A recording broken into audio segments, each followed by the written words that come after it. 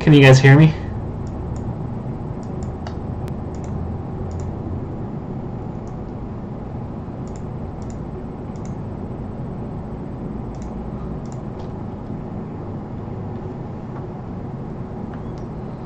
Alrighty.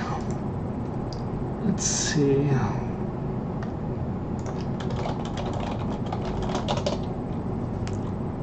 I'm gonna wait for like a good five minutes um, as uh, we wait for people to come on in. Should I do a commercial?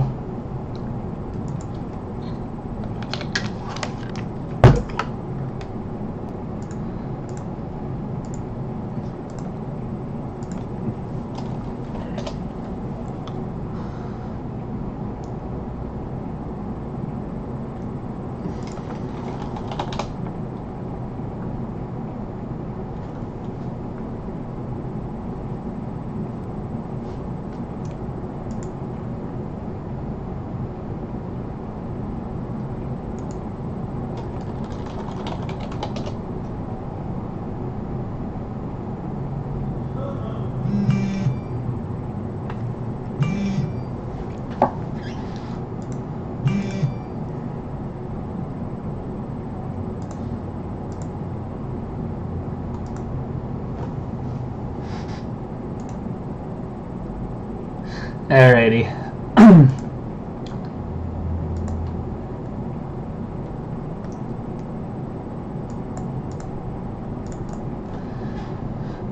Okay, so um, I'm going to go ahead and get started. And um, so I've been I've been toiling with some ideas on what I want to talk about, and I want to go a little bit more topical today. I've been um, working with a lot of new players. Um, I've been getting a lot of questions on my Ask.fm. So, um, yeah, and I've noticed a theme on like what. Um,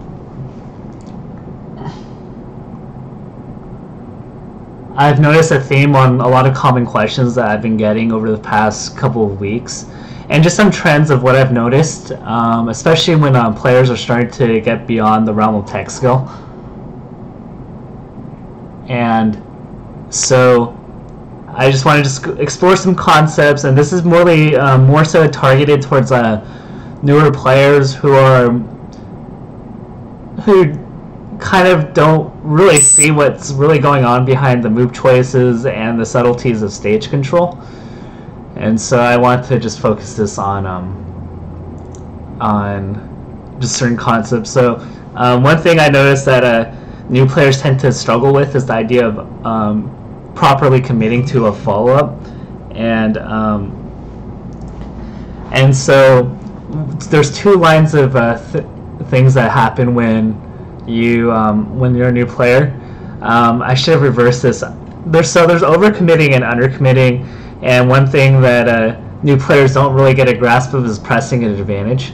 So, for example, when you have a uh, when you get an opening, um, so undercommitting in a nutshell is just not taking advantage of a situation with a follow-up or just taking position. So let's say you get a hit or you get an edge guard. A lot of new players, if they're scared, they'll run away after after a hit, and so um, the games will tend to be longer with newer players because they're not comboing as hard or um, or taking as much stage stage position when they when they have an opening or when they have their opponent in shield. So this is one thing I've really noticed, and so um, I just want to just kind of just I'm just gonna watch a newer player match to um,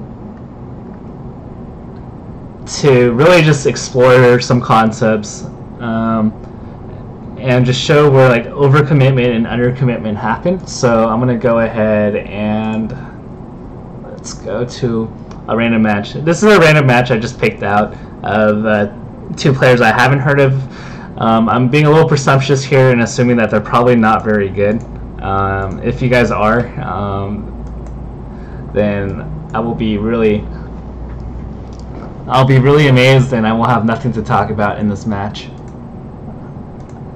And so, um, and also I'd like to add that um, um, we are in the midst of doing T um, a fundraiser for Teespring. So if you really like um, what we're doing here on Melee It On Me, um, we're gonna have a, we're doing a fundraiser for Melee It On Me and Big House 4, and for some reason the Teespring link is not loading, which is sad. Um, okay, there we go. So, cool t-shirts. We have 34 sold. Um, yeah, so if you want to support us, they're 20 bucks. We're at 34. Pretty sick. Um, but yeah, money will go towards um, On Me 2.0 web development and Big House 4. Um, so, um, pretty exciting things. Um, let me see if I can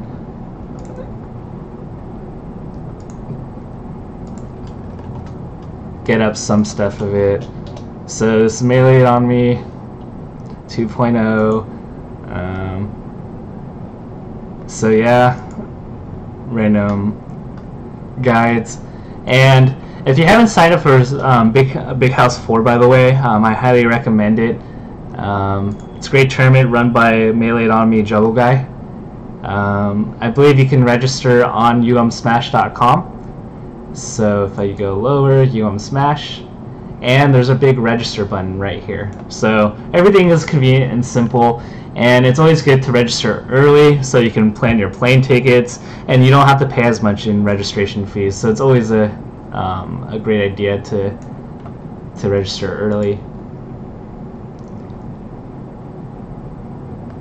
So we're at 134. So um, my deal to you today is you will get priority if you buy a t-shirt. So just let me know via email and then just let me know a link to a match that you want to get analyzed.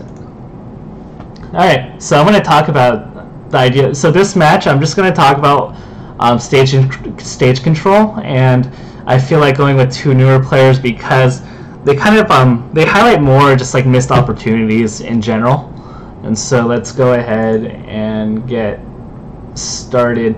Um, so there's over and under committing, and I'd also like to just talk about contingency plans. And what I mean by that is, uh, let's say you're in a follow-up combo situation and you miss your follow-up. Like, do you have a second option to cover it? So,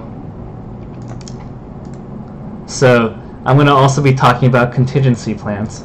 So um, if option A fails, what is your risk reward, and do you have a plan B? And this is something that will separate um, good players, um, okay players with um, decent punish games, and amazing players that have godlike punish games. It's their contingency plans because no one's like no one's perfect at the game, and you got to have a risk assessment. So if you miss plan A, or you miss time it, or you're late, or you fail tech skill, um, do you can you cover yourself and still maintain control?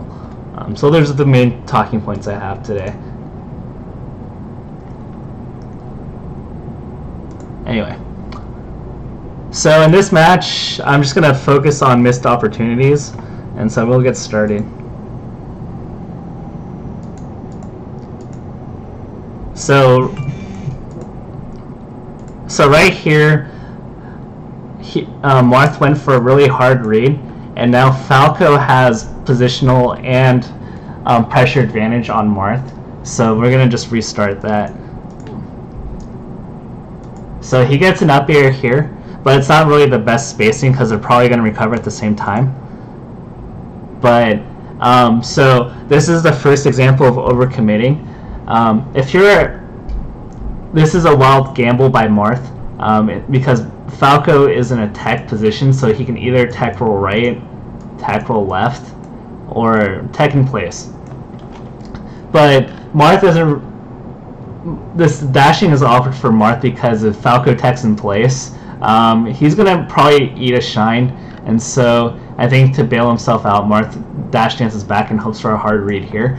Um, what's better here, if you're in a wild guess, is to just maintain control and don't overcommit to a grab. So if you look here, like he's in grab animation for extended periods of time, and look at how much free space um, now Falco has to get away.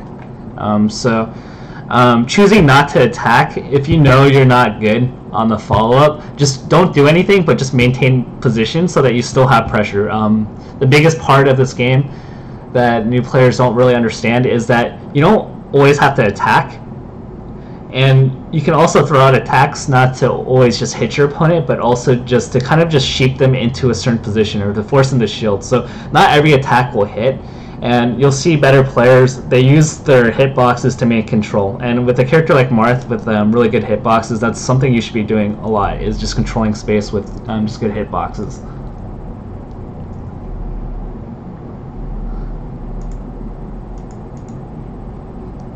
But he gets a good um, he gets a good power shield into a follow up. Falco does it.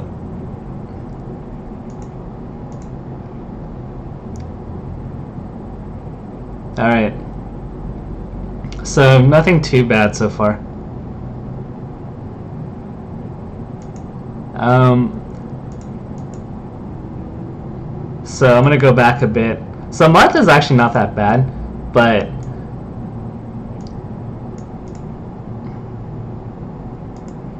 all right this um, this is a bit this is a huge overcommitment by Marth. And so the one thing you want to keep in mind is just good um, is whether the opponent is out of stun. And it's very clear that um, when you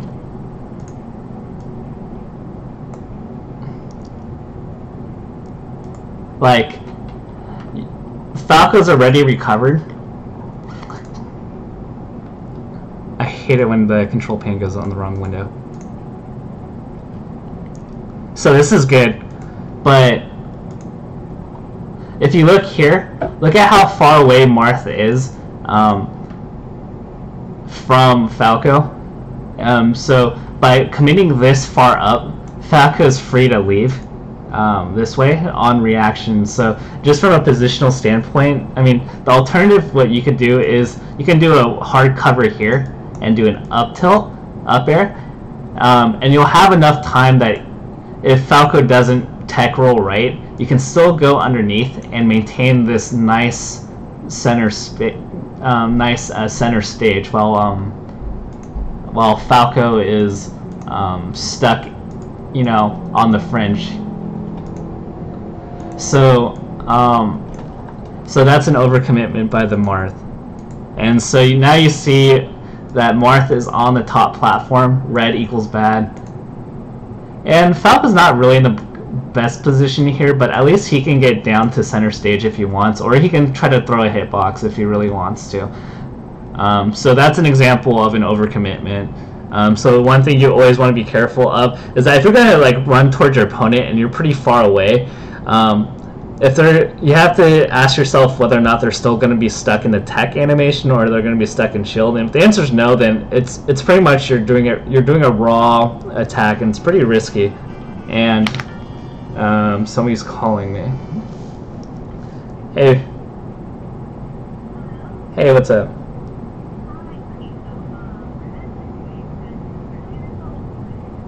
Okay cool. How much is it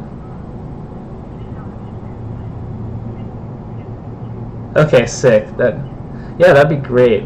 I'm actually in the middle of streaming right now, so I'm gonna have to. Alright, sorry about that. Alright. Okay, so going back, so we're gonna keep going.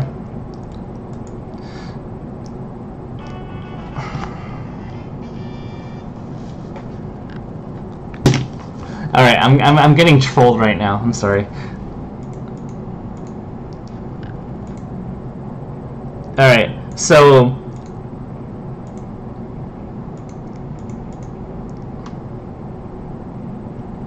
So, they're still fighting for space. And this is really good of the Marth, actually. But, um, if you look here, um, like, I think just, like, from pre-positioning, like, the thing about, um, good Marths and, um, um, and you know, or just like the difference between bad players and good players, or like not so good players, is like just the pre-positioning. So um, personally, if this is far, if he's that far up, um, there's no way that the Marth can horizontally counter it. So personally, I would have gone here, and then because at least I could cover just in case the Falco shortens. Then I could, you know, cover that. Or if he goes on top platform, um, then I could cover that as well. So this was just a matter of um, pre-positioning that you know leads to good success. So um, I guess um, in the idea of stage control, that's like one thing that's really important is just being able to assess like you know areas that you can cover. And so by going to position this position here, um, you're able to cover this much space. But if you go into um, you know, if you're stuck at this, you know, position here, um, you only really can cover this much, and so you have a degree of space that you can recover that's like not as like good. So, um, so something to keep in mind. I know this is really conceptual, and these lines are kind of like obnoxious, but um, pre-positioning, you know, will set you up, set up your openings, and that's one thing you have to consider when you you space your opponent. And in this case, Falco only has one move at this point, or arguably two. He could have up-B'd as well, but um, you want to position yourself for success. And so that's one thing you want to think about.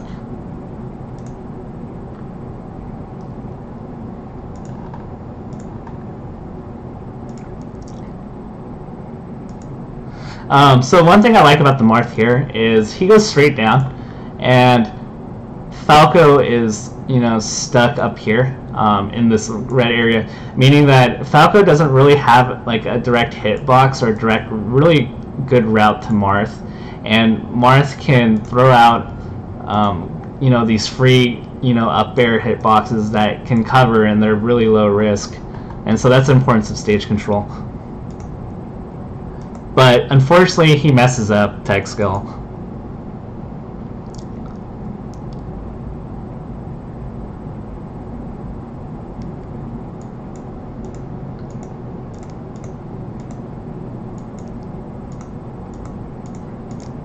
Alright, trying to get this.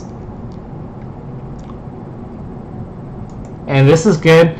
Um, four throw is an interesting choice, and this is one thing where you just got to know options. I think the Marth, this is either a tech, this is a tech flub.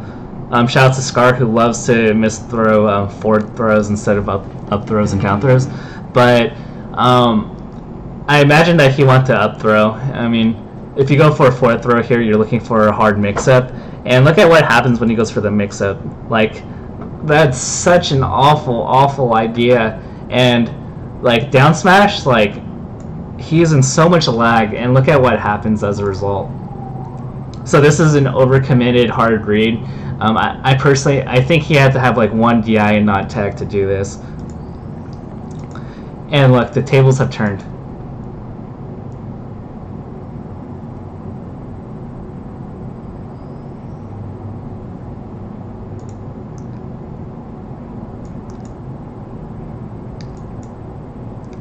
Alright, after this combo, like, Falco does some... And... So, I don't get the spot dodge, I'm gonna assume he's, you know, new at tech skill, but what he did was he had center stage, and he gave it for free to Marth over nothing. I'm guessing it was just a tech skill flub. And so you saw some overcommitments here. Um, once again, more overcommitments. So,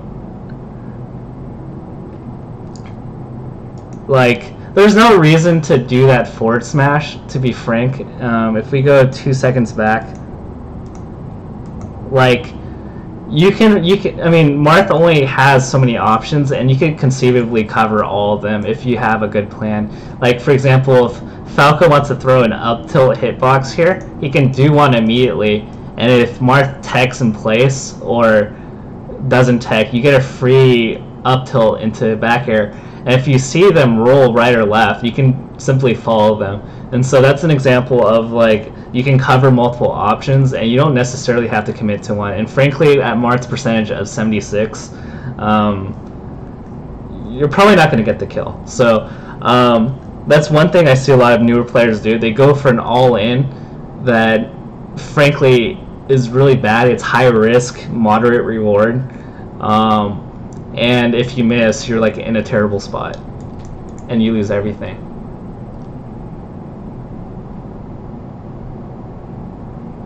Um, let me see. So, let me get the form. Somebody's asking for it. And so I'm really just highlighting just decision making. Um, so, the, so with the up tilt in place to cover the tech in place, um, the reason why the timings work is because the up tilt's immediate, and teching in place and not teching are the immediate options. And you can react to the rolls because the rolls have a longer animation. So um, you up tilt in place, and then you can cover a roll. I mean, that's how quick these options are. Anyway.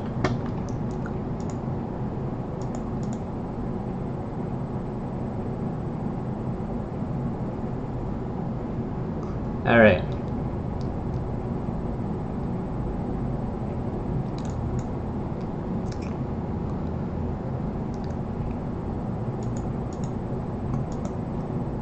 All right. Another questionable forward smash and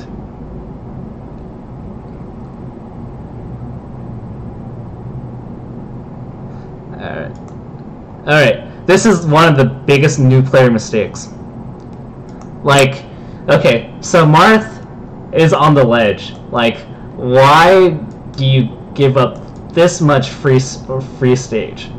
Um, now, now what happens is um, Marth can get on stage for free with maybe a laser, but even if Falco throws a laser right now, he, he he's not going to be able to do much more out of it. This is this is one thing I see a lot of new players do is that if they see an opponent in a disadvantage, like they go all the way here, and I just don't quite understand why. Maybe there's fear, maybe they're scared that this Marth is Mew2King. Um, but even then, like, um, what would be a comfort zone for me personally is just staying like right here. Um, if I were the Falco, and the reason being is the Marth jumps up, and he decides to fair, like right here, like I can throw a laser and I could throw a forward tilt and I could throw my own my own good hitboxes like at this range and cover whatever Marth throws at me. And If Marth and I could throw a free laser even if he goes up, and if Marth decides to just get up right here and roll right away, I can cover that with a laser shine. So this is where you know just knowing a good pre pre zone like helps a lot. So this is where I would have stood personally.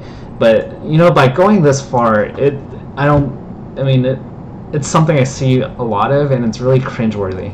Um, unless you're gonna play the Falco campy style, and you know you're really committed to that, like, yeah, it's not good.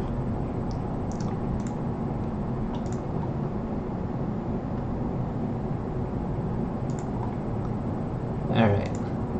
So moving on. So I'm just like looking at, I'm trying to look for things. Um, all right, and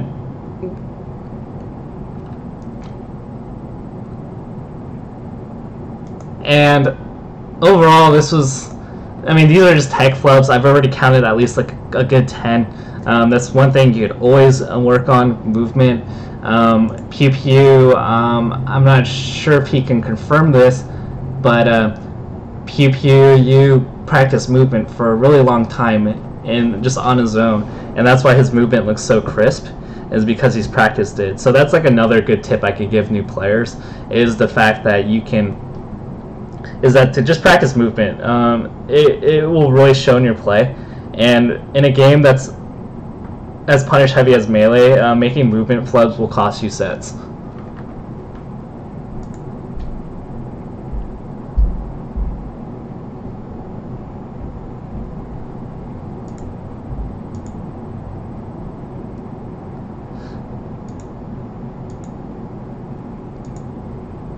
All right.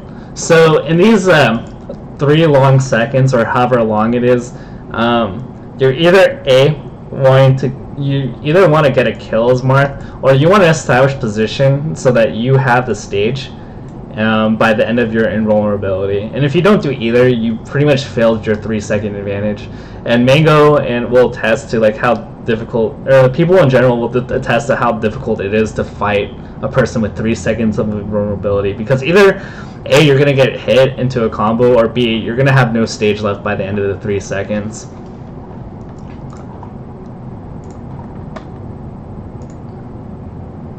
Alright, it was pretty good, but then um, personally, whenever Falco's on top platform and they're itching to um, get down, this is my little secret, is I like to just bait um, and just that and just um, I like to just dash dance back and forth until like they're gonna commit to a drill because that's what most Falcos do, and I just grab them. Um, you should, unless they're like firmly stuck up here, you should really ever try to jump because it's hard to beat the down air. Um, and this is what the Marth does. Or Marth jumps away, and he loses stage. Good.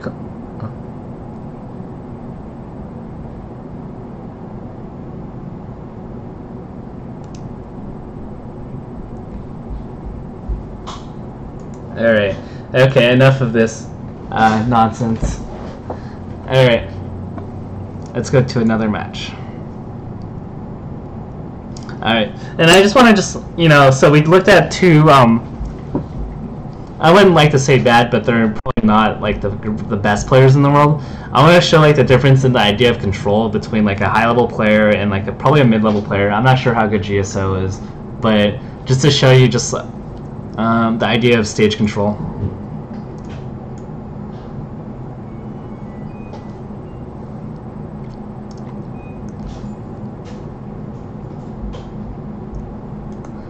So the one thing you want to notice is look at how like Mango will always, you know, he'll either be like in the center or he'll be beneath you. That's one thing that's always apparent. Unless like he has you in a combo, like he always tries to aim for that, and that's what most that's a really good philosophy to live by.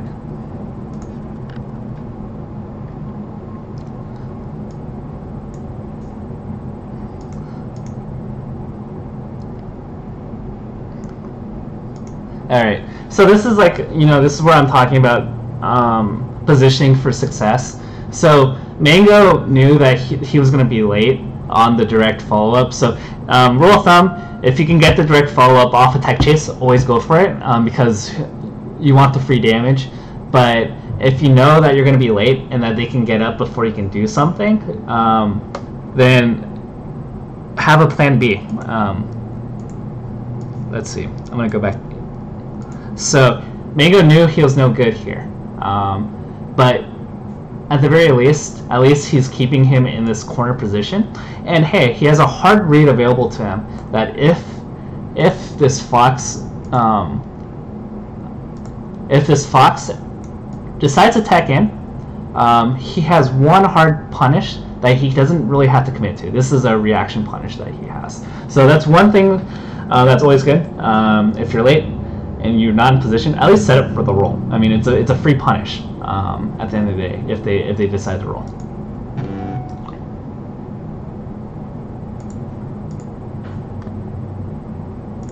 All right. So anyway, so but and in a panic, uh, GSO rolls and Mango gets a free punish. And I just want to point out something else. Um, we see Mango on the top platform, obviously not a good position, but uh, Mango will quickly get out of this position, and um, GSO will have such a small time time window to um, you know to take advantage. So that's one thing that's really important. It's just like if you're in a bad position and you can get out, get out as fast as you can, because you don't want to be stuck in these um, positions. And the reason why, once again, um, Fox, the Fox below, unless the opponent's really good at shield dropping, um, has all the free hitboxes in the road, and the, the, onus on him is to mess up. Whereas Mango doesn't really have direct hitboxes to hit um, to hit him.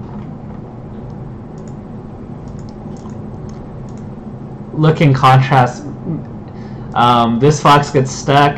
Mango capitalizes. So that's a diff- difference between a Mango and ordinary players, mortals. And once again, um, we see Mango missing the follow-up, but he positioned himself. All right. Um, but we see the spot. We see Mango couldn't follow up, so he immediately, you know, sets up another position here. Um, once again, one roll distance away.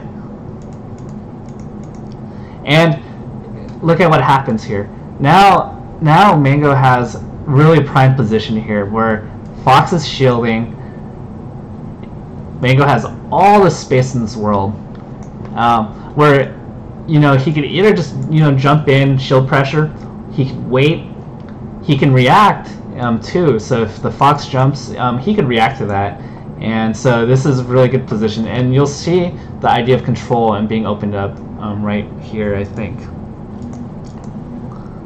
Alright, he misses the follow-up, but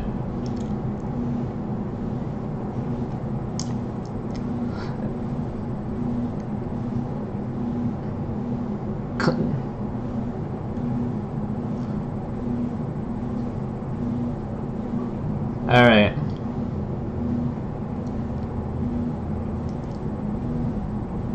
Mango's uh, a little sloppy here.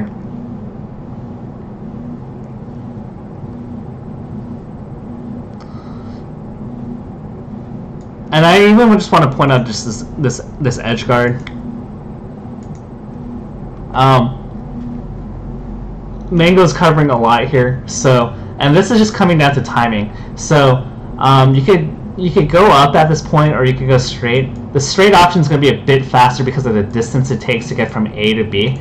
Um, so, um, and to get to this platform um, will take longer. So what he can, what Mango can do to just cover as many options as he can is to throw it up back back here immediately um, to cover the straight option, and he'll have time to cover the high option too if um, if GSO decides to go up. The only possibility really is if somehow um, he can manage a great angle here. So uh, just to recap, a good back to cover as many options as he can. He throws a back air here to intercept, and then he'll land on stage. And then if the fox decides to um, you know come up, Mango can also cover that in the same amount of time. So um, that's one thing you want to think about in good edge guarding. So um, you want to assess what options they have given the game state. So here um, the fox decides to up B, and there's only so many options you can have. And so Mango has a game plan set for this. He's going to start off on the ledge to deter him from trying to go for the ledge. He's going to cover the straight one um, with a good with a back air hitbox, and if he doesn't do that, then he can cover high as well.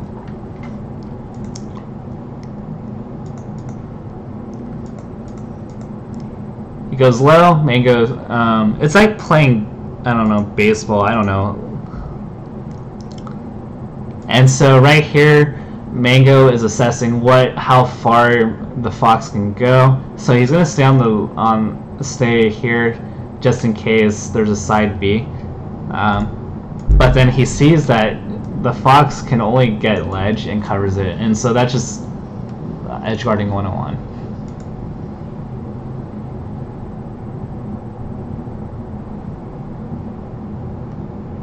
All right. Anyway, so. Oh, actually, I'm a, I'm a, I'm a terrible, I'm a terrible, terrible, terrible person. He actually made it. So that was a misjudgment by me too.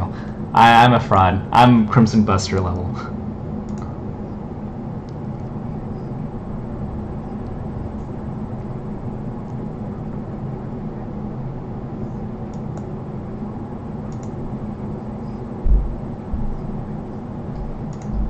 Alright. So, I just want to... platforms are usually no good, and... And once you get up here, Mango has all the control in the world, and that's why, like... But part of it on why um, GSO was forced up here in the first place was just Mango dash dancing and pressuring him into the corner, so he really felt like he didn't have anywhere to go, and he gets punished, so...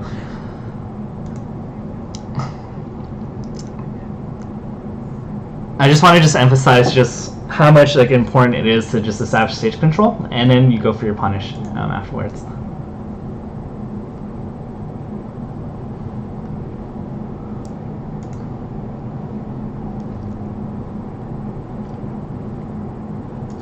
Okay, so this is one thing.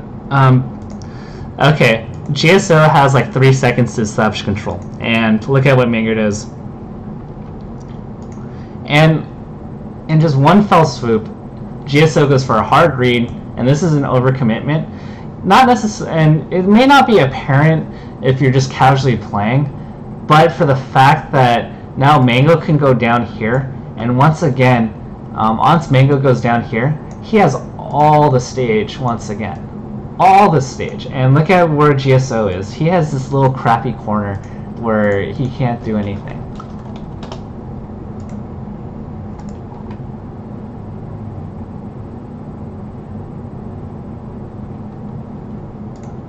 And so corners, usually unless you're Mew2King, you can't win this at all. Um, I'm trying to think of the Star Wars Episode 3 duel.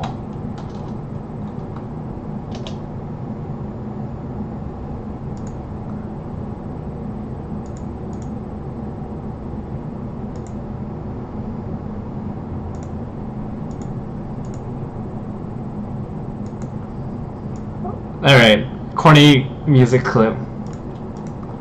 Shout to one of the worst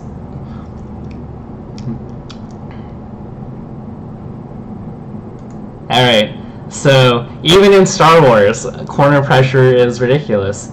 This this Jedi has all the stage control, and Anakin has nothing.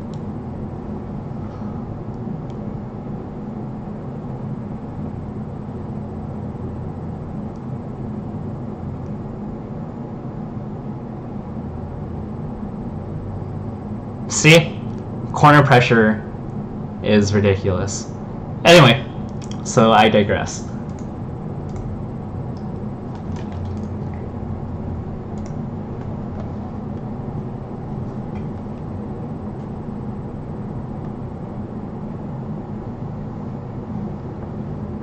Alright, anyway, sorry about that. Alright, let's going back to the match.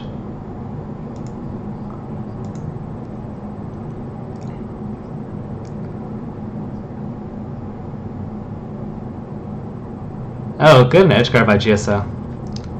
But, um...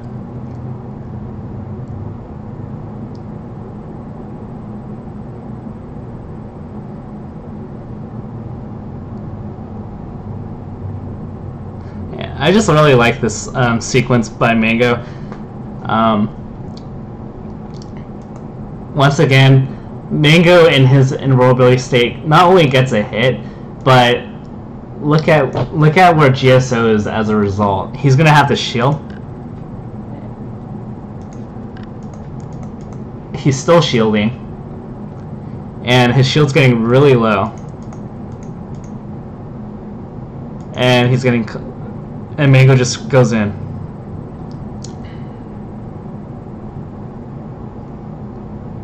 I think Mango's just fooling around, but anyway, let's go to some real matches.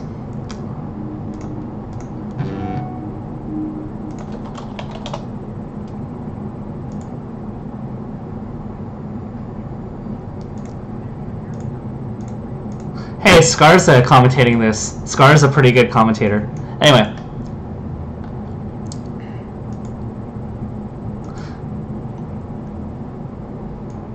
So, I'm gonna start working where, um,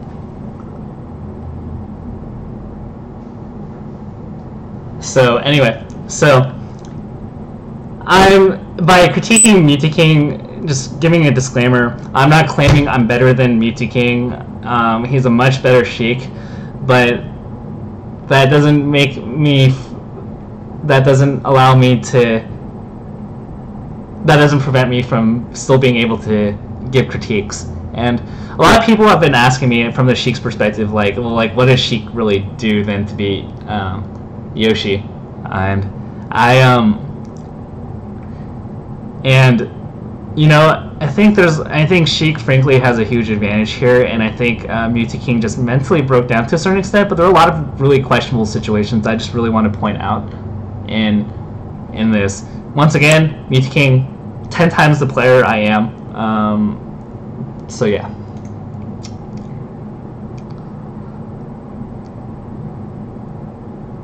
All right. So uh, let's see. So Mew2King's playing well, and the reason why is Mew2King is um Mew2King uh, stays grounded, and you know he plays tilty and he goes for grabs, and I think that attributes very much to him um, having the lead in both the game and in, or in the set and the game is that he stuck to a game plan of staying on the ground, and I'm going to show why playing in the air is kind of detrimental. So there's two types of sheiks. There's the sheiks that like to stand grounded. They like to they like to dash dance camp. They like to throw a lot of tilt and they like to grab. And then there's the jump happy sheiks. They're the ones that like to spam back airs and fairs and they like to kind of play more zoning. Um, so there's a slow transition that kind of happens as Mew2King, um, you know, goes from a more of a ground-based game to playing more in the air. And for what's worth, maybe AMSA did something to threaten his ground space, and so maybe that's why Mew2King felt that he needed to play more in the air. So look at that down smash there. Alright.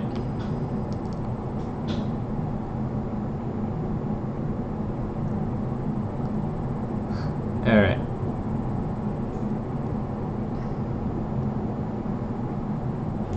I just want to just point out something here. So at 26, um, AMSA was able to get out in there. Um, so this is why um, Sheik's chain grab doesn't work till high percentages, and this I hope this example clearly demonstrates that you can't chain grab Yoshi to 100 like most people think.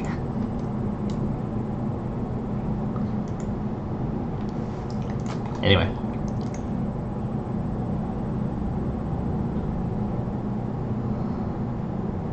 Alright. But notice how like most of now Mew2King is slowly switching to an aerial based game. Look at how many fairs he's th throwing now. And why is this bad? It'll, it'll show. So look at how many jumps Mew2King's doing. So it's kind of working now, but there's a high risk of this that will eventually manifest itself.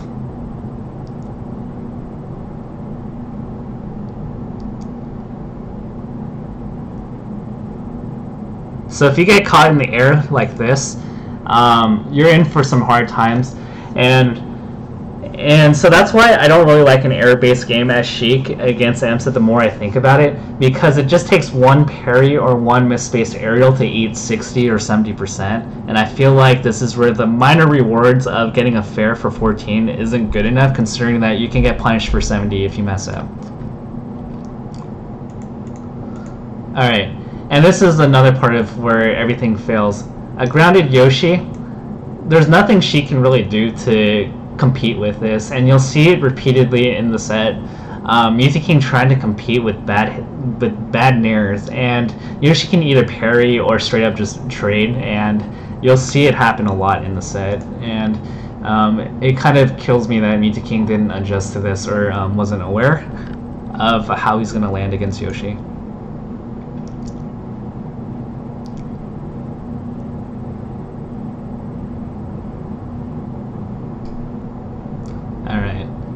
See once again um, you see here um,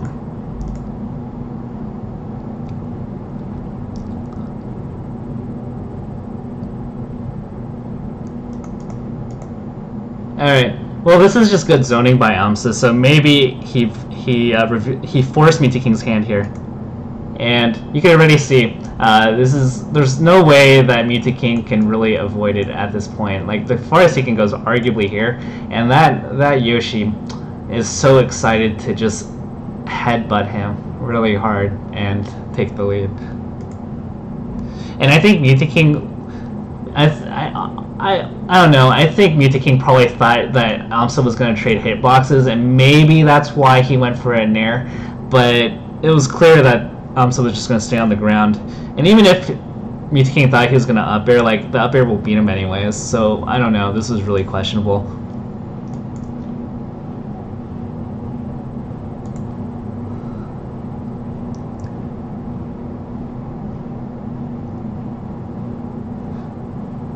Alright.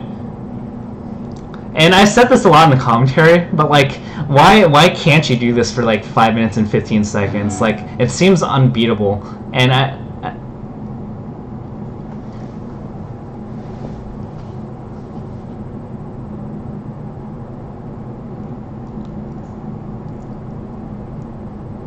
Okay, once again, um, I think pretty much, you know, if you're going to fight Yoshi in the air, the only thing you really have to really be worried about as Sheik is that back air, and this is something that Amsa marvelously hits. And look at how much damage that does. 38, 49.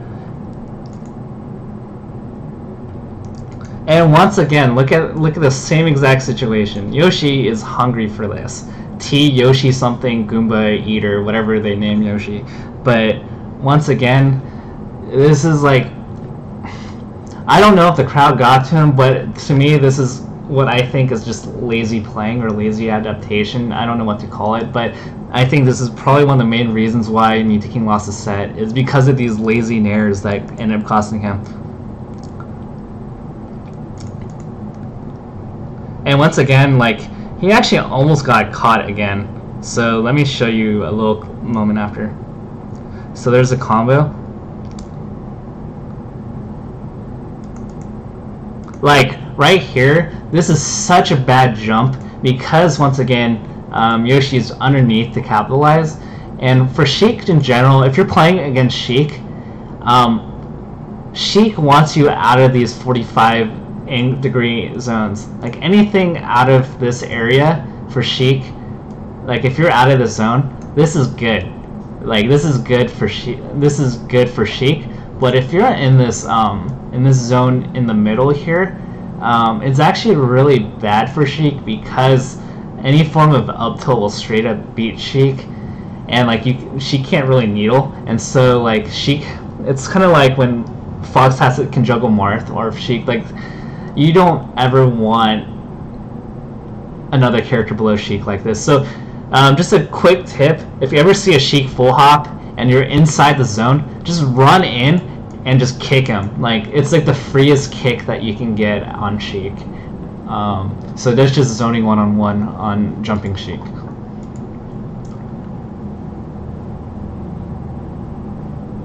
So once again, if you ever see Sheik jump, just pretend that there's an imaginary 45 degree angle, and if you are in that 45 degree zone, you have a free hit.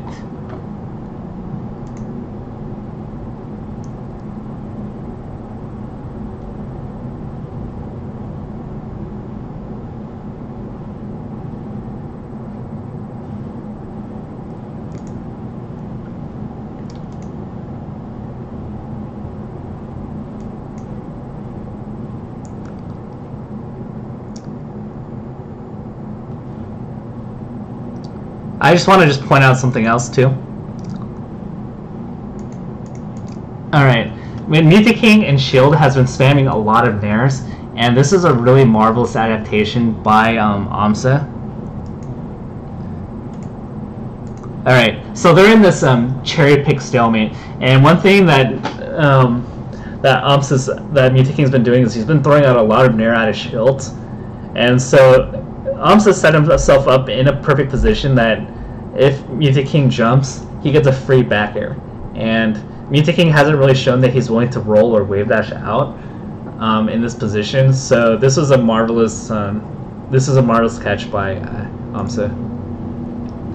And once again, he's getting juggled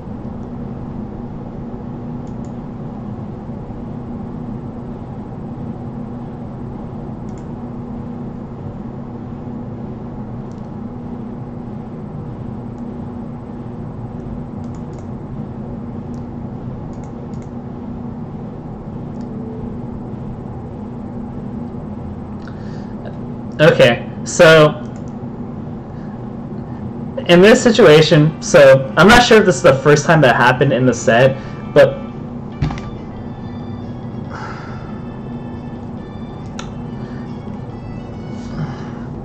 Hello?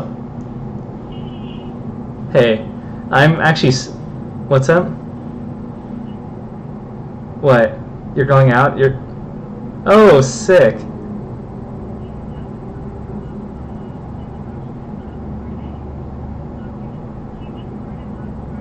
Oh, Oh, okay. Yeah, I'm in the middle of the stream. I, I'll call you back in like an hour. Alright, sorry about that.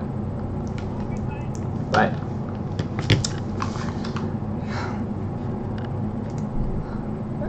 Alright.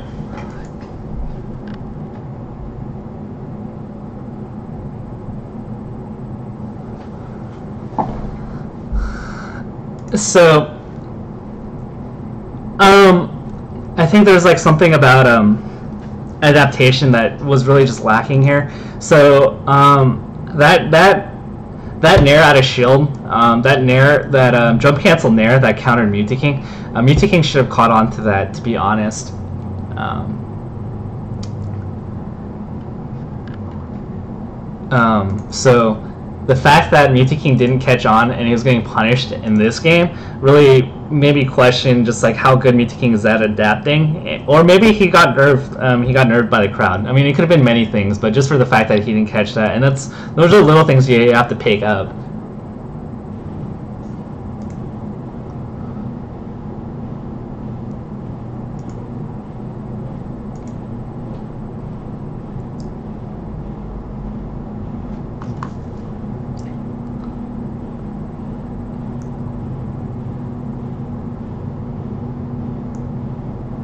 Alright, so a lot of these things, although Mew2King kind of gets bailed out here,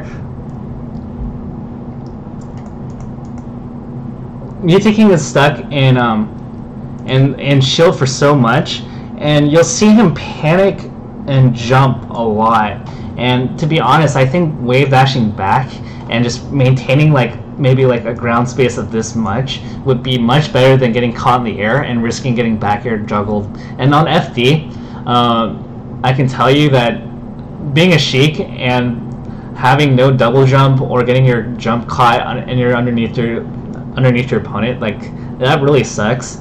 Like whether it's Marth or Fox or Falco or any any any character that has Sheik inner jump like that, it's not good times.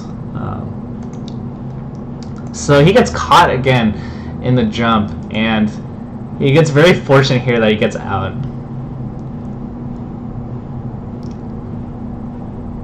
So the Nair comes out. And once again, like, these full hops are disastrous for Mew2King. And that's what's like losing him the neutral. Alright, so he's getting frustrated by the eggs, but um, I just want to show once again. Um, Alright, full hopping Sheik. Yoshi's in the 45, it's a free hit. This is a free, the freest of freest hits. And this this is why that was such a bad full hop because Yoshi's gonna get a free hit, and I think the back air will lead to more damage. And look, now Sheik is stuck trying to recover now Sheik has no double jump. So um, basically, Sheik has to get lucky to not get hit because there's no double jump. Yoshi is happy here. Um, he is smiling, like really here.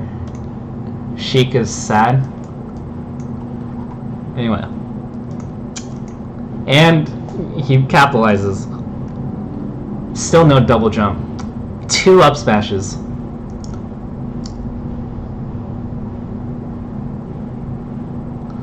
And so once again, like one up smash, and this is how you beat Sheik, to be honest. Get her in the air and get her stuck like that.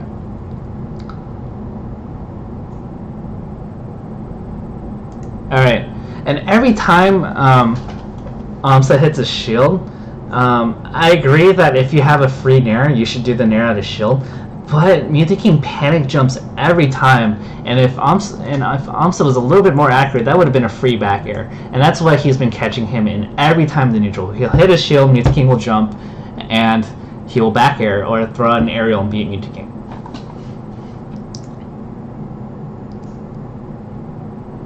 Once again, the jump comes out.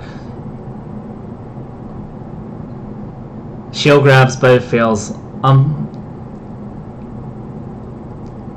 Alright. Okay, this is one of Yoshi's gimmicks that you have to watch out for. Alright. So Mew2King tries to go for the optimal punish here, but he doesn't I don't think it's enough distance for him to get the wave dash out of shield. And that headbutt actually has a lot of stun. It's kind of deceptive. And the interesting thing about this headbutt is that it's similar to Raptor Boost. So if Yoshi's head was here, um, now his hitbox goes back here and you're gonna whiff. It's similar to Rap the Raptor Boost of Falcon. And this is one thing I learned from playing Amps AMSA at one of the tournaments, is that forward smash is that if if AMSA hard reads that you're going to go for a grab, he can throw out that forward smash and your grab's gonna miss, and you're gonna eat a free forward smash. So that was a really nice play by Amsa. It's a kind of gimmicky, but it's still good how he uses it.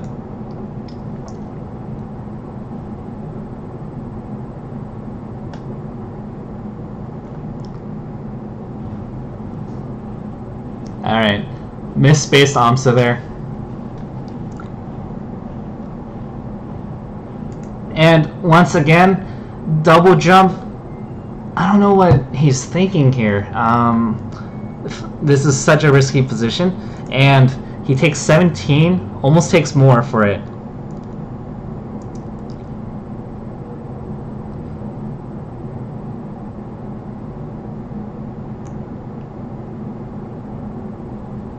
Takes 27. And this is just sloppy play by Mew2King.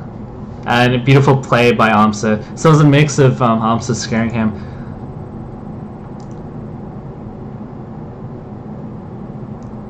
Desperation there gets caught. Alright. And this is like this is like what like ultra new players do. I would have probably done it in desperation if I felt like that, but this is like something that Amsa pre-spaced for. He he can straight up beat the fair, like given the spacing that he has right now. And lo and behold, King throws it out and gets free uh, forward smash.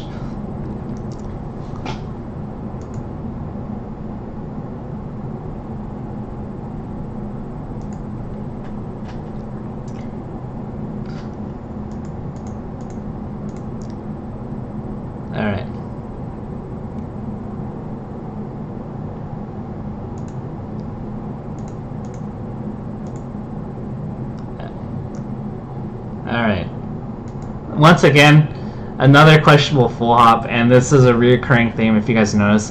And this is something that Mew2King can easily fix. So it's like, I think it's just um, strategic errors to commit to these full hops. And it's fortunate for him that Mew2King doesn't get caught.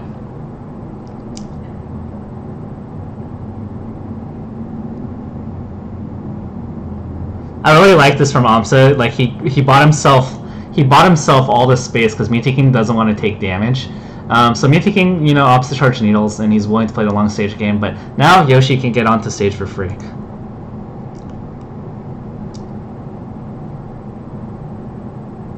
Alright.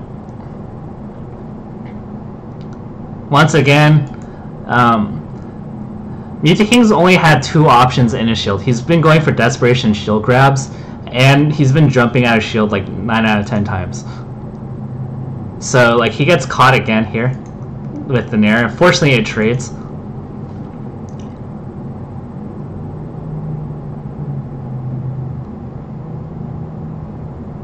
Once again, look how he jumped again. And now, look, he's stuck in the air. And he's getting beat every time in these skirmishes. And he's very fortunate, once again, that that up smash didn't hit. So,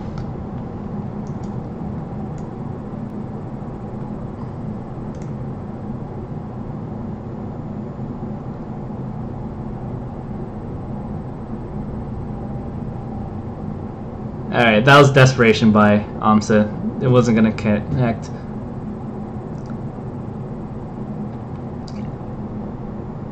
Good egg to cover himself. Alright. Anyway.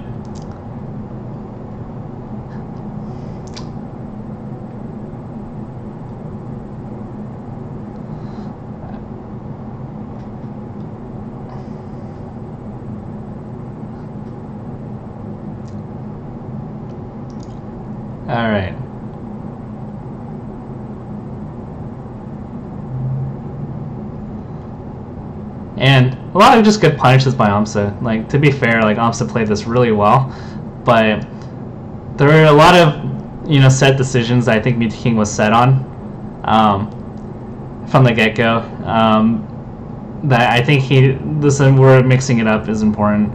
Those um, jumps out of shield are probably one of the main reasons why Mew2King lost the neutral a lot.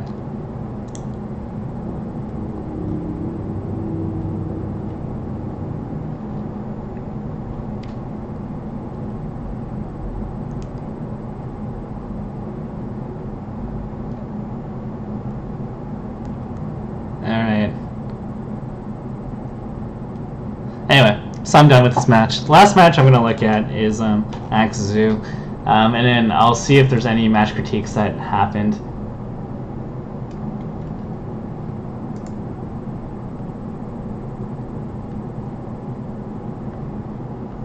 Wait, I didn't know that you could change gear colors. Frick. I'm really sad. Anyway.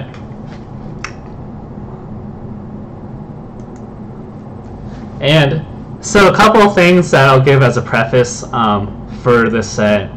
Um, Axe's punishment game was was not the best. Um, so I'm gonna openly admit that Axe's follow-ups were probably the greatest. But at the same time, I want to look at a lot of micro decisions that were made um, that were really smart from both players.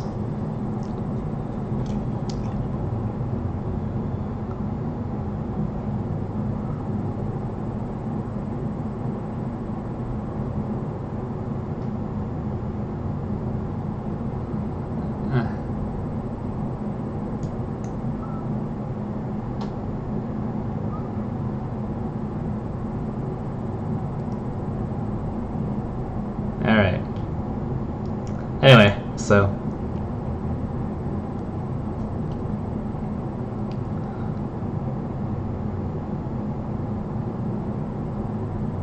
Alright, anyway, let's see if I can find some interesting things. Alright, so I just want to just point out something there.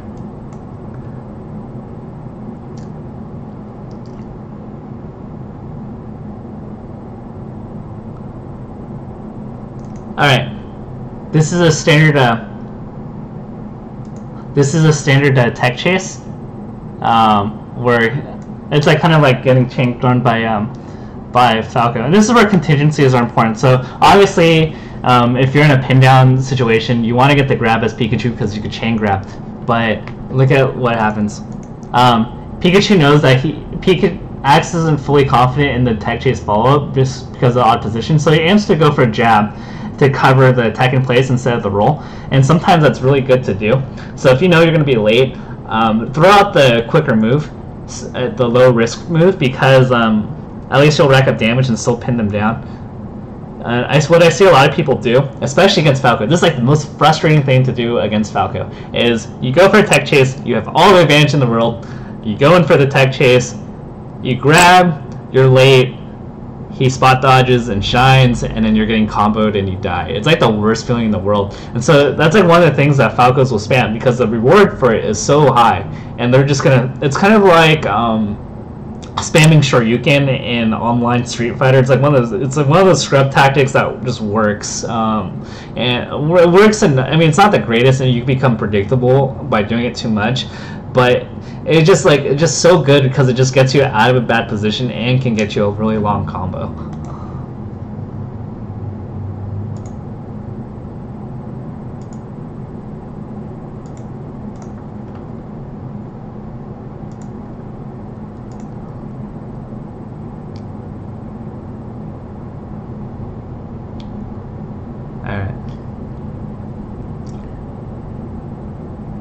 I just want to just point out little things too. So he wants to regrab, and Zhu gets out. And for most people, so in this situation, he whiffs the grab, and Zhu manages to jump out. For most people, that would be the end of the combo, the end of the punishment. Um, but the thing about good players, and Axe is so good at having a second option to cover if he misses the first option. So just like watch what Axe does here. This is a really subtle thing, but this is one of the things that makes me really like go like, wow, like Axe like really knows like peak covering options really well. So he misses, Zhu will get out, but look at what Axe does. He throws out a second U-air. Um, Zhu has to go this way, and now he's stuck in shield with Pikachu at a subtle advantage. So although he didn't cover it there, like uh, you're covering a lot of options, and you're, you're covering a lot of options and you're throwing out many things. Like they're like little traps and for very low, low risk.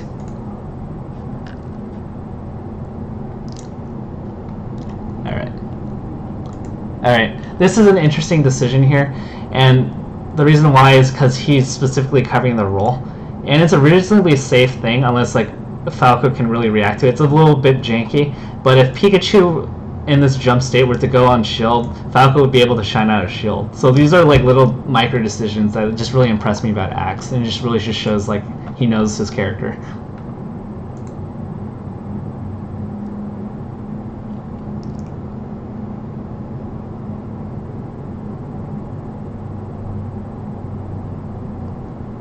Anyway, I'm gonna go to game five. Shout out to Ben TZ and D1 if you guys are here. Who's in the chat? Dingus Master. Hey, you guys have like the worst names.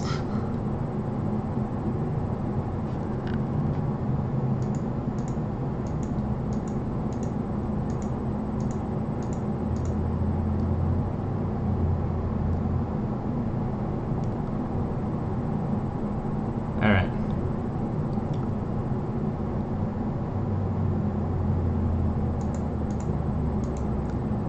The one thing I really like about um, um, about um, with about Zhu is that he's like really frustrating um, to play against. And look at how like he just maintains this amount of spacing, and he'll throw lasers knowing that he'll be safe in this distance to cover the nair. Um, so this is one thing that I really like about Zhu is that he really knows zoning. So if you want to follow like a safe fundamental Falco that isn't just Dr. PP, like Zhu is one of those Falcos. Alright. So one thing about um, that really stood out is like a lot of like subtle decisions about like not falling for traps. Um,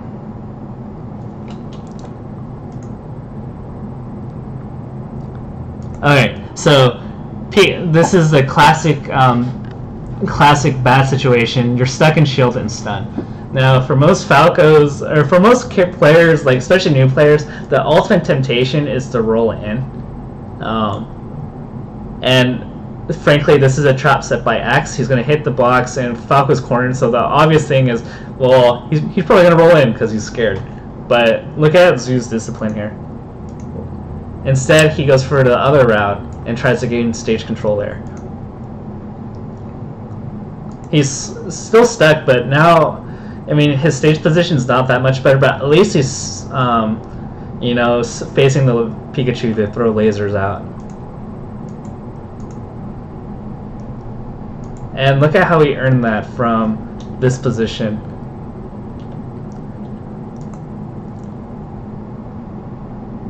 Alright, so he loses stage position here, but I just want you to show like just how much discipline Zhu has into not getting hit and um, regaining that control. So decides to go up because Pikachu's reading the roll. Um, Pikachu will try to cover this space, so Zhu will end up just going back down um, to a neutral state. Now he now he's facing Pikachu, and he has Pikachu and Shield. He jabs, and he wins a neutral game. So it all pieced over from just having good discipline. And a lot of times in melee, um, at high level play, it won't take one. It'll take a series of smart decisions to go from a disadvantage to um, winning the neutral. And so, yeah.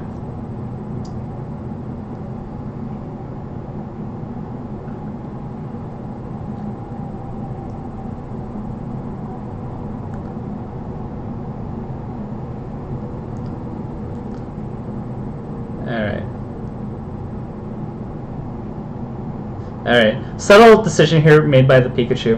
Um,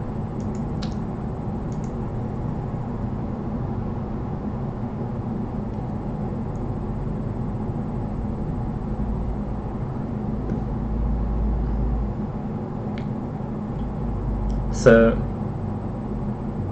wow, Zhu's playing amazing.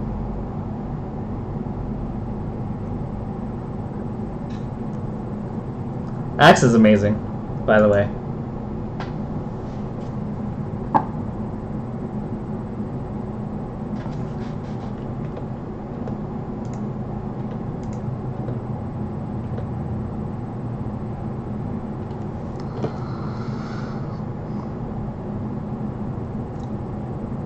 All right.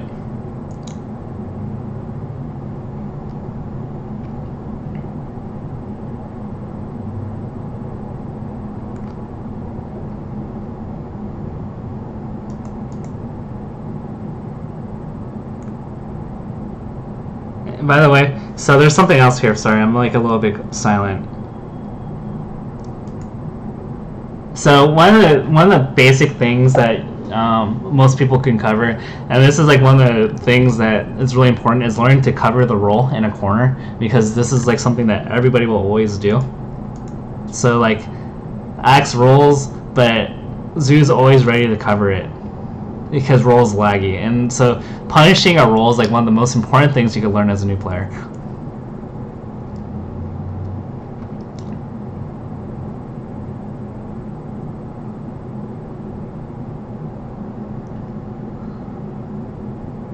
Alright.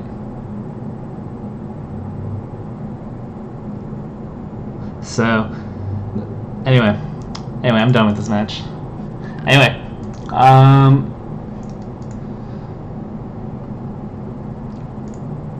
I have a couple of match critiques. Who is this? Gnarly? General tips on Fox.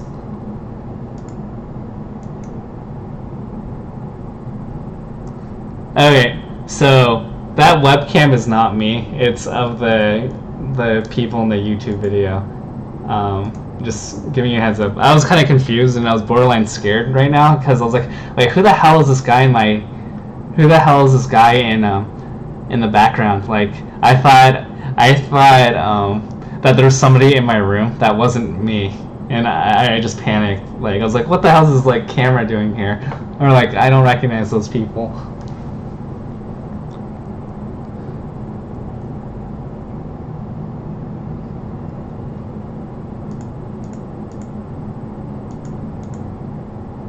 Alright, so... um, so, chillin' dude, Fox, Luigi analysis. So, um, there is actually this really useful tutorial video, actually specifically on this matchup. And I highly recommend that you look at it. So, Dude, I'm not black. I'm I'm I'm Asian. See? Anyway, um, so there is an amazing link by Chillin' Dude on how to play the specific matchup. Um, I hate playing against Luigi. Um, I this is why I don't like playing Sheridan in friendlies because he resorts to Luigi. Like Luigi is a very frustrating character that relies on Nair.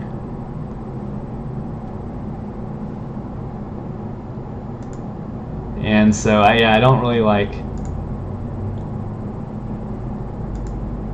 I don't really like uh, Luigi. I, I said it. Alright. We're not doing bad so far.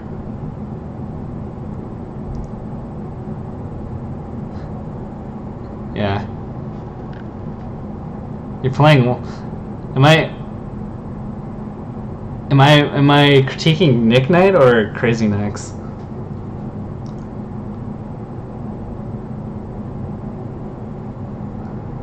Yeah, my expertise is not really Luigi. Um, so once again, um, yeah, I, I apologize. Uh, but to be honest, there's like a 27 there's a 27 minute video that explains this matchup really well. And conceptually i don't understand how to play against luigi. I mean if i were to point out a few things um, up throw up air should never work so don't go for that.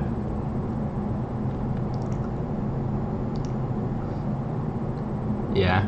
Um, you're going a little too frisky here. Um, yeah Oh, you shield drop. That's pretty sexy. That was a late on the... You were late on the follow-up.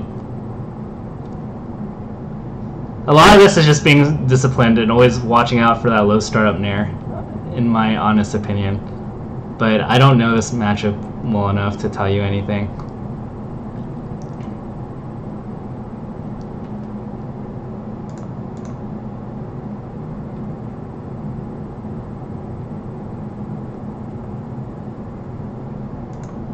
I mean, you could play this the the I'm Fox and I beat you way by just you know spacing a lot of back airs and up tilts. Um, that seems to work really well. All right, you got him cornered. What are you gonna do in the corner? Oh, good down tilt. Oh, good discipline to wait on the nair. So I mean, a lot of this matchup is just you know it's a game of chicken. You're waiting for them to throw out the nair, and then you're punishing them for the nair, and so. Um, I think the easiest way to explain it is um, you got naired. It's whether or not you got naired into a combo.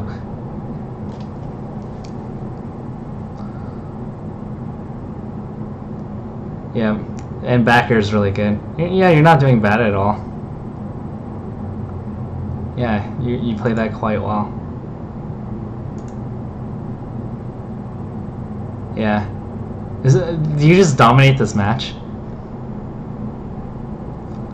Alright. I think you're playing this really like you should. A lot of back airs, and just like putting them into a tough spot and just waiting for them to commit to something is, I think, how you should play it. Good recovery.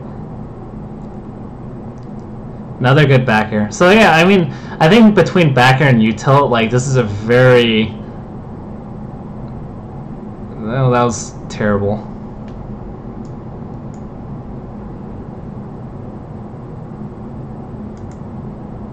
Yeah. I think, um, like, Luigi can do a lot of harm to players that don't know how to play against him, but I, it seems like you know what to do. I mean... I mean, you're drilling... I mean, I like your drills. Oh, you just tech flip. Back air? No. Uh, TV lag. Oh no. Well, so you died really. You kind of got gimped twice. I mean.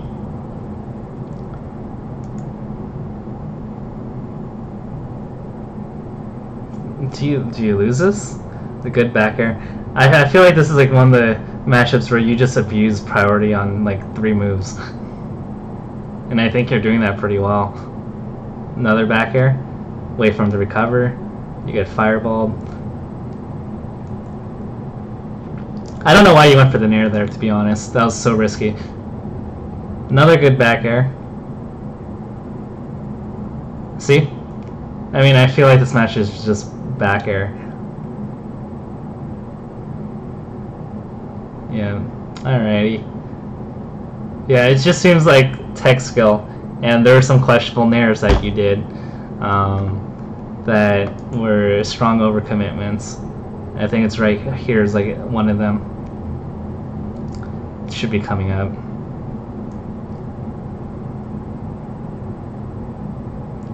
Why? So that was a questionable nair, and so I think it just, I think it's just discipline, but you seem to have a good base plan in this matchup.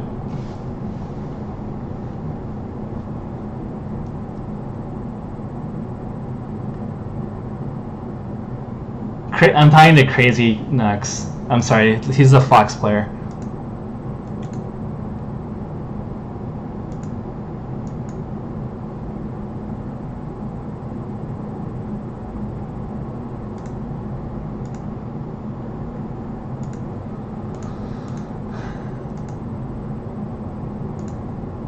Alrighty. Um.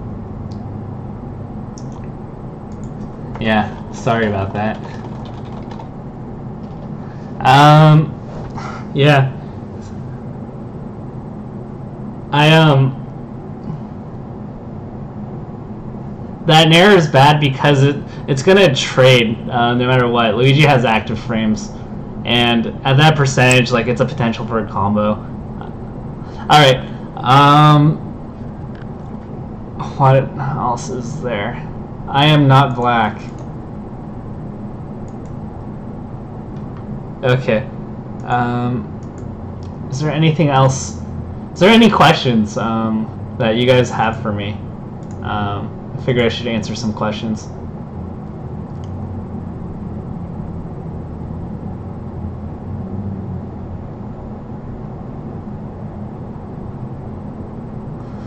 Yeah, I'm not black.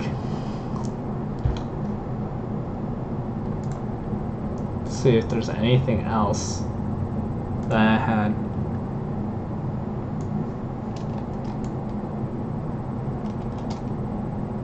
Okay. Um,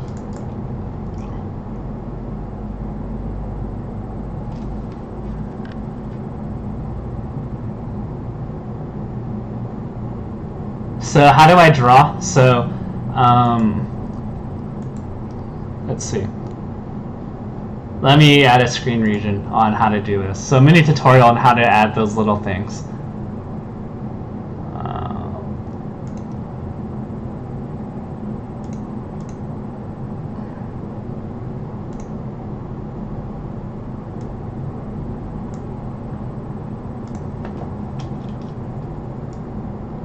Okay.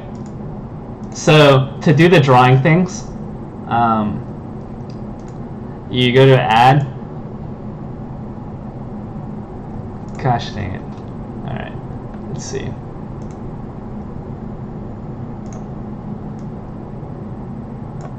Alright. One second. So to do the drawing board thing, there's something called a whiteboard overlay.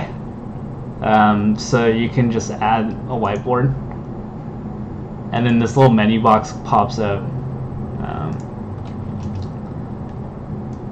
and with that whiteboard overlay, um, it's pretty straightforward. So the basic commands are this. So you can, um, so on the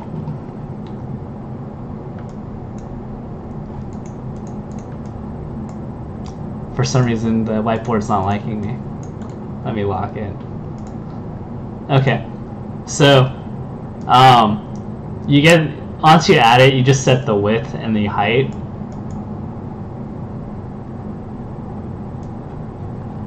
And um, you can draw like this, and then C on the top, C will show you a color box, so that's how you change colors.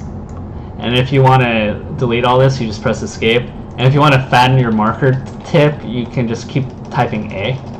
And if you want to... So just TLDR, um, there's a whiteboard overlay, and it's pretty simple to use.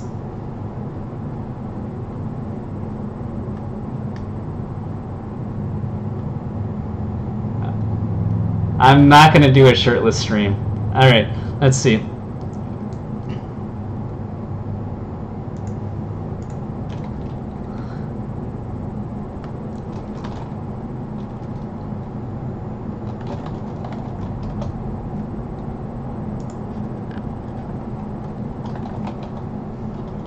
Alright, I guess I'll show a little bit about tech chasing. Um, Alright.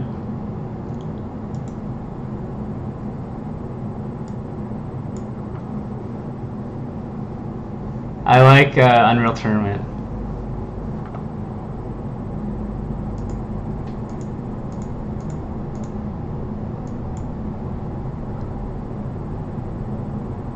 Alright, I like I think this is one of my better matches to um, to tech chase, and I just want to just show like what what um, I personally like to do.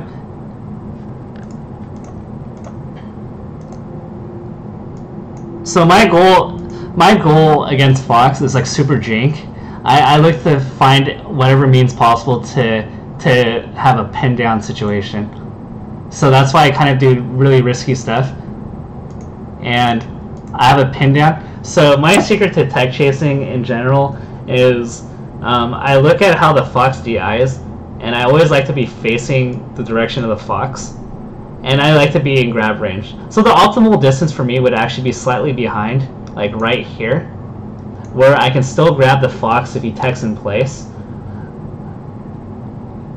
So I always like to set myself up as a uh, on a tech animation that I'm facing the sheik, or I'm facing the fox. So this is my face. And what I do is this. You see this timer? I look at if this is really this is really stupid of me. I, I, I look I look and see like if this thing is moving relative to this timer, and that's how I kind of align things. And if I see any movement between these two, then I'll react. So if I see any like movement between between these two, then I know it's a tech roll. It's basically reacting left or right. But what I'm doing here in this position is I'm making it as simple as possible to react to what requires the fastest timing window. So tech in place is the obvious hardest, the hardest one to follow up in terms of timing windows. And by having myself all prepped to cover that, all I need to do is press one button, and, and that's just grab. And so that's what that's how I space it.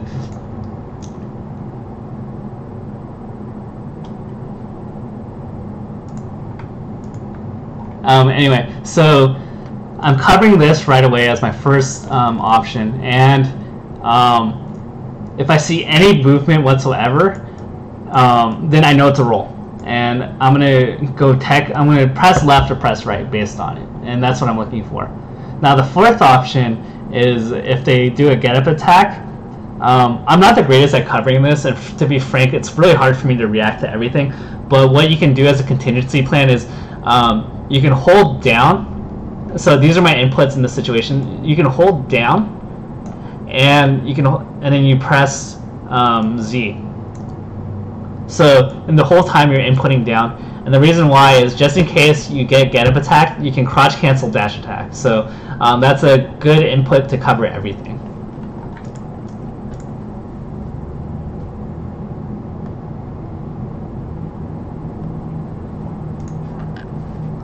So just to recap, um, step in the tech chase.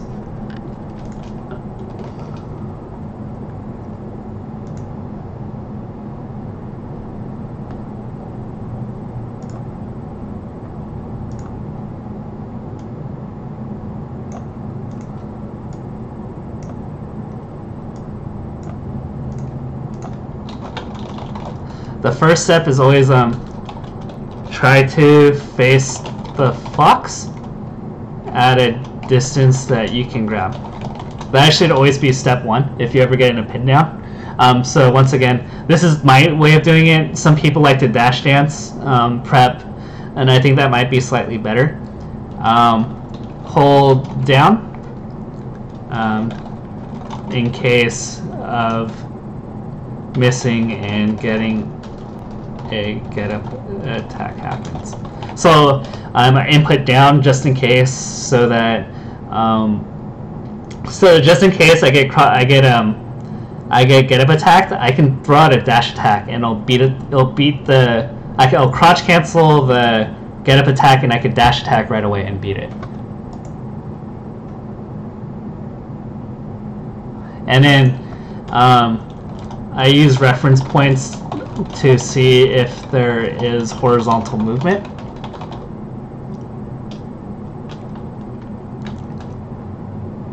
And just react and you profit. Anyway.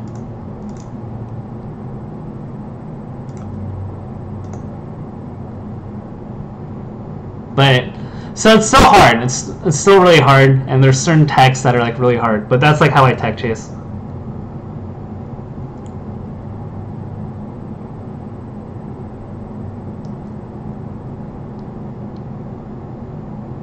But I want to show you. So there's part one. So if you if you miss,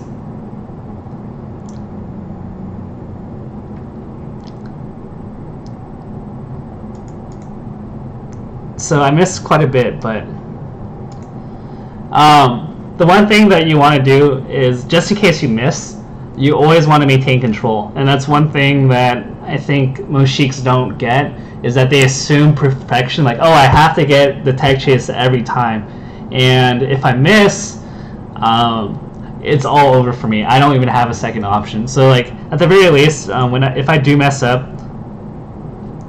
Um,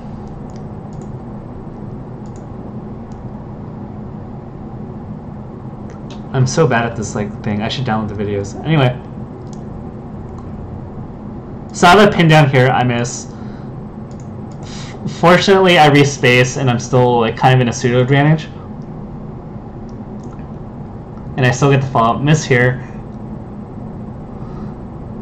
But I'm always, even if I don't get the follow up. So for example, I didn't I didn't get a direct hit here, but look at how I'm always positioned to get a second follow-up just in case, or that I maintain maintain position.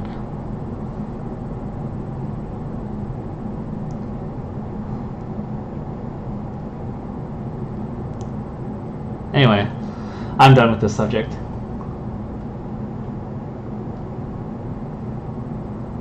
Alright. Anyway. Okay, so I'm probably going to transition it to. Oh my gosh, we got Kappa, Greg Gryface Kappa, Ka Kappa Gryface Kappa. You uh, subscribed. I'm happy for you.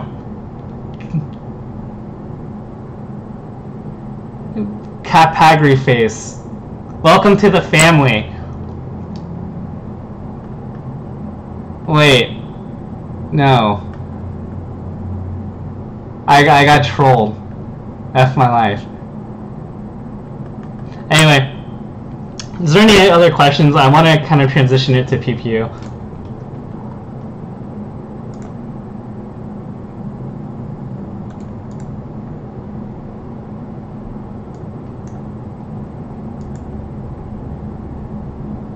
Oh, okay. Dude, I got I got trolled really hard. Anyway, so I don't really have too much other than that. I mean, um,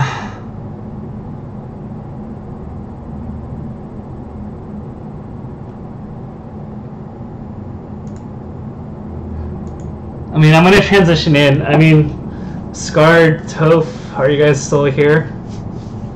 Is there any other concept that you guys want me to explore?